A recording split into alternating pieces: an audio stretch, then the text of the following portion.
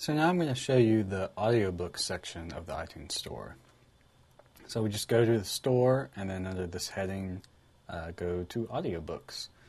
And just like it sounds, this is uh, the iTunes version of a book on tape or book on CD. Um, so pricing kind of varies. So we'll just go to a book here. And you see this book is $18.95. Um, there's no set pricing like in most other um, areas of the iTunes store, but you can see it's almost, it's pretty much about the price of the, it would be to buy the actual book. Um, but it's set up similar to music. You've got a description right here. If there were customer reviews, they'd be down here. Listeners also bought. Got some other stuff. Uh, you can even preview it, um, about a minute and a half preview by just clicking there. I just see them in a different light. Just like that. Um, of course, buy the book right there. Uh, so just going back to the store, let's look at um, kind of what the store looks like. You've got some new releases, staff favorites, what's hot, top audiobooks, and even categories over here.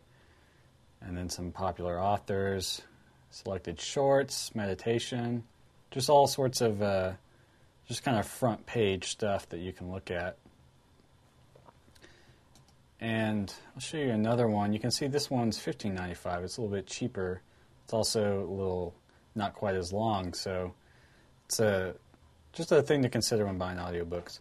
One thing I would also you might also consider is what I've read is when you download an audiobook from the iTunes store, it's going to come in like very large chunks. Like maybe this one might be two chunks, both like an hour and a half or something like that.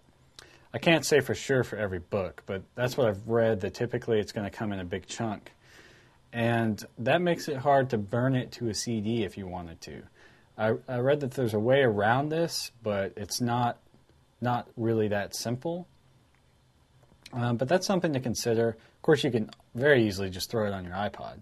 But uh, when you're thinking about burning it to a CD, you might uh, run into some complications. But besides that, um, these are just the, the audiobook section of the iTunes store.